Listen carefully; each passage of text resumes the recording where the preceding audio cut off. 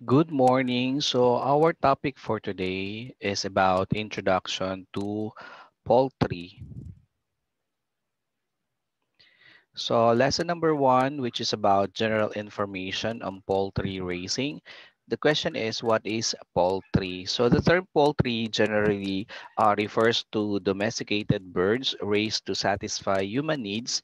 Uh, an example of this is uh, the species of uh, chickens, ducks, quails, and pigeons. These species are raised mainly for their eggs and meat and other species are used as ornaments, pets, or game animals. Um, this chapter or this lesson discusses the benefits of uh, poultry raising and the factors to consider in choosing the right species to raise. So let's talk about the different port poultry species. So 11 species of birds are classified under poultry. So these are chicken, ducks, turkeys, pigeons, quails, guinea fowls, geese, peafowls, peasants, uh, swans, and ostriches. So um, chickens, turkey, quails, peafowls, peasants, and ostrich are terrestrial in habitat. So while the rest are aquatic. So other characteristic of this species are presented. So we have here chicken. So the common name of of is chicken, of course, and the scientific name of chicken is Gallus gallus domesticus. Incubation period in days is 25, 21 days. Egg weight in grams is 58 grams. Next, we have duck. That's the common name. Scientific name, for mallard duck, Anas platyrhynchus. For Muscovy duck, that is Cairina moschata. Incubation period in days, 28 days for mallard, 35 to 37 days for Muscovy. For egg weight in grams, for mallard, 80 to 83 grams, and for Muscovy, uh, that's 70 grams. Next, we have turkey. So scientific name of turkey is Meleagris gallopavo. Incubation period is 28 days. Egg weight 80 to 90 grams. Next, we have a pigeon. So scientific name of pigeon is Columba livia. Incubation period 18 days.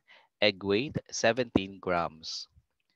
Next one is quail. Scientific name, Coturnix coturnix japonica. Incubation period 18 days. Egg weight 10 to 15 grams. Next, we have guinea fowl. Scientific name, Numida meleagridis. Incubation period 26 to 28 days. Egg weight 40 grams. Next, we have goose. Scientific name, Cygnopsis cygnoides. Incubation period 28 to 34 days. Egg weight 200 grams. We also have peafowl. Scientific name Pavo cristatus. Incubation period 28 days. Egg weight 95 grams. Next, we have the pheasant. Um, scientific name Phasianus colchicus.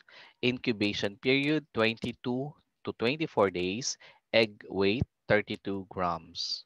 We also have swan. Scientific name Olor columbianus. Incubation period 42 days.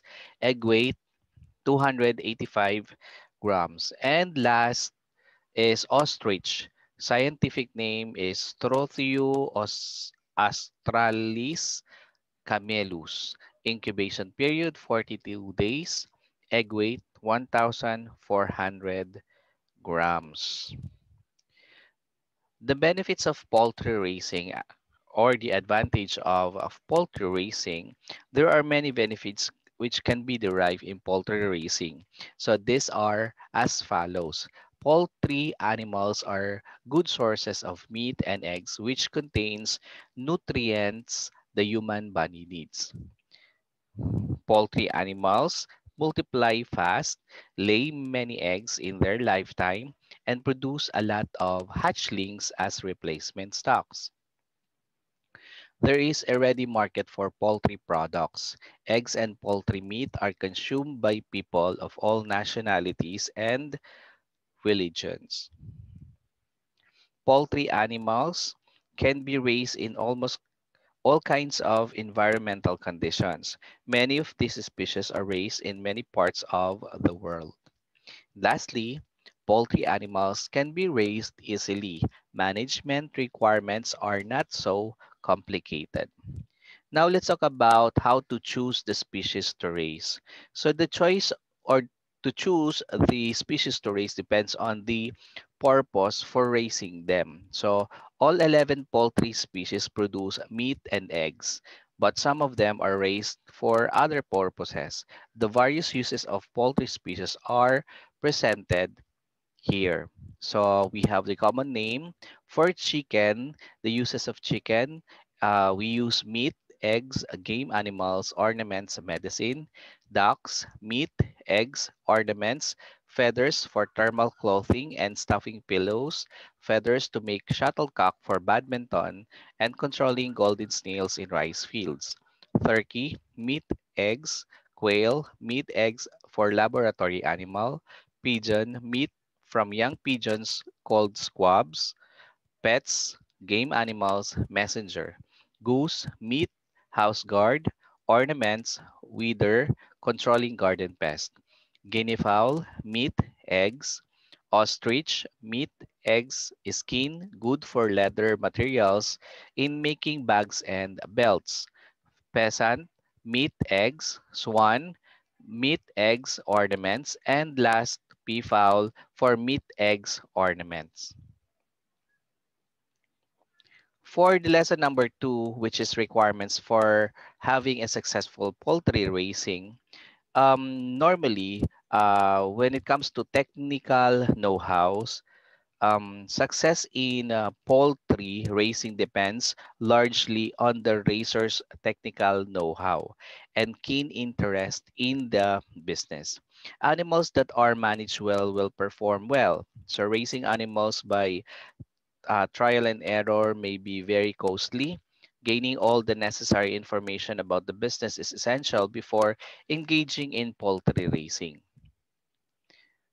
So the poultry raiser should have um, obtaining a college degree with specialization in poultry production, enrolling in short courses on poultry production, attending trainings on both the theoretical and practical aspects of poultry production, attending an on-the-job training on poultry farm, hatchery, and feed mill, attending seminars and lecture demonstrations on uh, poultry productions, um, uh, listening to radio programs and watching TV shows on poultry production, and of course, reading some magazines, pamphlets, leaflets, books, journals, and other printed materials about poultry production.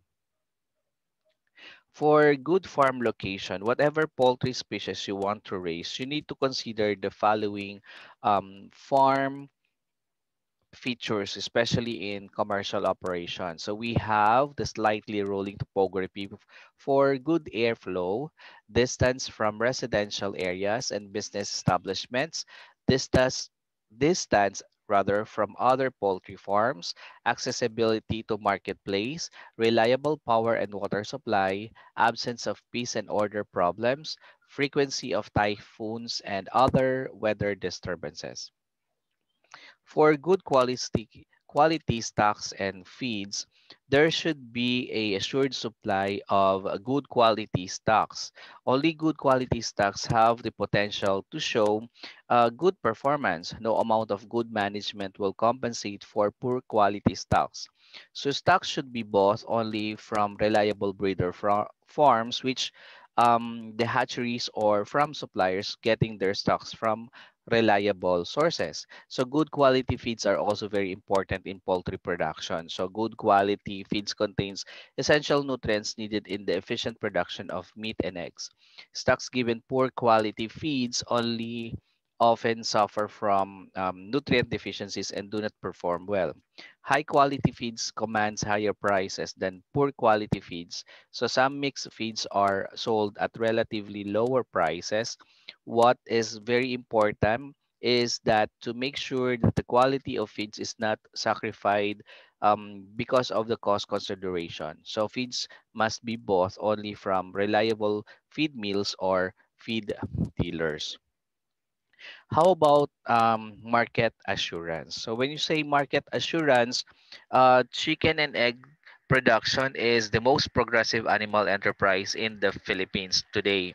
Uh, there is a constant demand for eggs and uh, poultry meat, making poultry raising a very viable enterprise. The culmination of any poultry raising project is the selling of the product. So the market of eggs involve um, buying and selling and the physical movement and distribution of eggs from production to consumption. Not all eggs produced um, though are marketed for human consumption. So many are used for hatching. Eggs, whether for hatching or for consumption, begin to deteriorate inequality after three days under room temperature. So however, if eggs are stored under cooler conditions um, with a relative humidity, so their freshness can be extended up to two weeks. So stale eggs command lower prices in market compared to fresh eggs. So eggs deteriorate because of several factors such as the shrinkage, which is caused by the evaporation of moisture within the egg, and liquefaction, which increase vi- visibility of yolk resulting in lowered viscosity of the white. And uh, we also have the gaseous exchange, which is um, due to a loss of carbon dioxide. Then hydrogen ion concentration due to change in uh, pH and bacterial decomposition due to caused by shell soilage. Yan. So poultry meat production has become by far the largest uh, facet of the poultry industry. 40 years ago, most of the poultry market as meat was only a byproduct of egg production. And today, the poultry marketed as meat is grown by large sophisticated industries. So, broilers and chickens are raised primarily for their meat are marketed uh, either uh, through contract growers or independent growers. So, broilers have to be harvested bef- before they are 45 days old. In um, most cases, high quality broilers and finished broilers are sold at the optional age of not more than 42 days, with the chicken having attained a body weight of 1.75 kilogram, uh, which is the selling broilers within this period is very important because the weight and the age are at the optimum level. So delay in marketing will result in um, decreasing feed efficiency. So this is uh, due to feed requirement per weight gained. So um, which in turn would result in higher cost of production and reduced profit. So the older the broiler, the more feed per unit weight gain is consumed. So overgrown broilers are sold at a lower price because they have lower meat quality. So their meat become tough uh, with age. Furthermore, delay in marketing disrupts the schedule of the raising the next crop.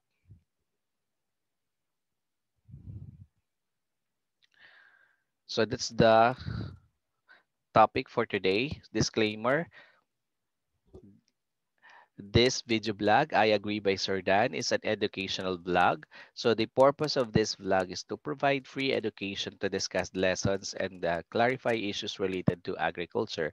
So the channel owner wishes to thank the trustworthy uh, sources that have helped make this edu vlog possible. So any opinions or views shared in this vlog are also personal and belong to I Agree by Sir Dan. The views of any person that is directly or indirectly connected to the owner do not inherently represent them. In addition, any dependency you put on the materials included herein is solely at your own risk.